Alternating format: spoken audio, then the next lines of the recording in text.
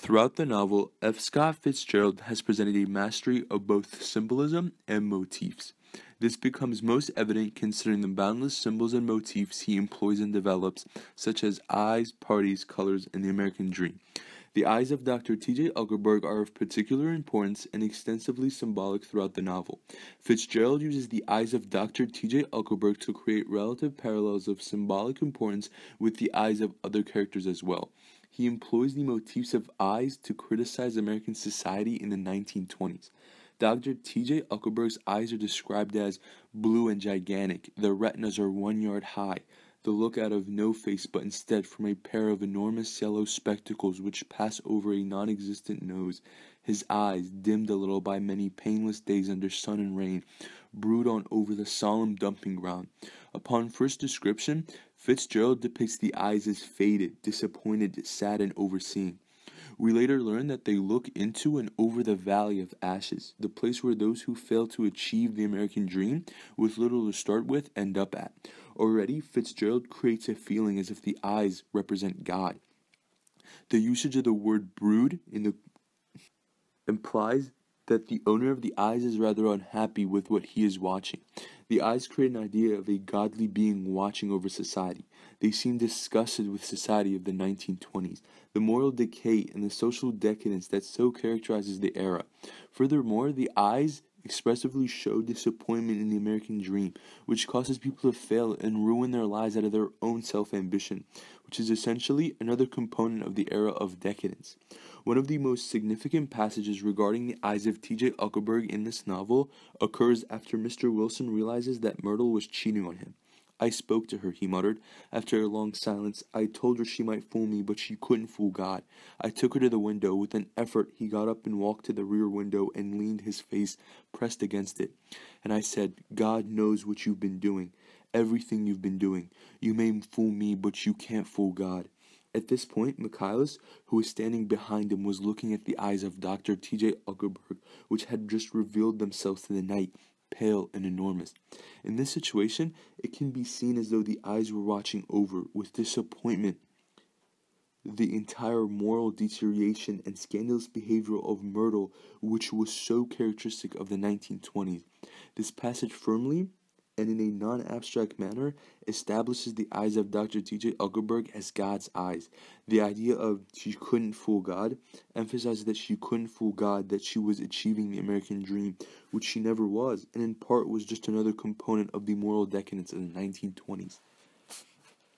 Nick's eyes are continuously mentioned in the narration, in which he discusses things through eyes. For example, after Gatsby's death, the East was haunted for me like that, distorted beyond my eyes, power of correction.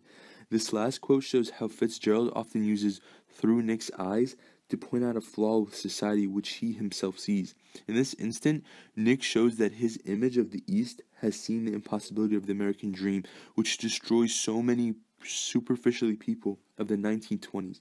Furthermore, Nick tries or wants to run away from the destructive forces of the American dream in stating he wants to leave, but alas, that is where the reader finds Nick lacks that epiphany, that consuming, damaging drive to achieve the American dream is everywhere around him, no matter where he goes, and he feeds off the shallowness and decadence of the society of the 1920s. Fitzgerald uses the motif of eyes to develop his theme of the costing impossibility of achieving the American dream, which he prays infinitely upon the shallowness and decadence of 1920s society. He does so through the repetition of D- of Dr. T.J. Eckleburg's eyes throughout the novel, which represent God looking down disappointedly upon American society, as well as through the insights of Nick, which directly conveys Fitzgerald's personal criticism of the 1920s. Eyes are an outstanding example of Fitzgerald's mastery of motifs and symbolism, and one of many which he uses to develop the theme of the factious nature of the American dream, which so he inadvertently is ruinous. F. Scott Fitzgerald presents a world of partial knowledge, a blinkered vision limited by point of view. Nick Carraway is presenting Gatsby's story as he saw it, but he knows there are other versions which might be told from other points of view. He declares that life is much more successfully looked at from a single window after all. It might be argued that singularity of vision is one of Gatsby's special qualities, but his vision is ultimately of a world beyond the material world that surrounds him, and in consequence, he often seems to be blind to the actual nature of things. The visitor to Gatsby's party who wears owl eyed spectacles, as Nick Season describes them, has the appearance of wisdom conventionally associated with the owl. His spectacles make him look scholarly, but the limits to his vision are very clear, and they are not just the consequence of drunkenness. He is impressed by the fact that Gatsby's library contains some real books, but he is not interested in the contents of the books, nor is he interested in the single minded vision that has driven Gatsby to use such props. Owl Eyes is content to be impressed by the man's stage management. He's one of the few mourners who attends Gatsby's funeral, but he does not really mourn. Instead, he judges Gatsby to have been a poor son of a bitch. He can only see the mundane reality, not the ideal which gave meaning to Gatsby's life. For him, Gatsby was not tragic, but just a pathetic obsessive. Following Gatsby's death, Nick tells us that he found the East Coast distorted beyond my eyes. Power of correction. Without Gatsby, all seems grotesque to him. It is possible that as a reader we may wish to agree with the owl eyed man, rather than accept Nick's elevated depiction of his hero, but we are left with the image at the end of the novel of the enchanted vision that met the eyes of the Dutch sailors arriving into the New World, and that is more difficult to dismiss. It returns us to Gatsby as an embodiment of the hope that such vision might show redeem the world from brutality and indifference, which is the American dream.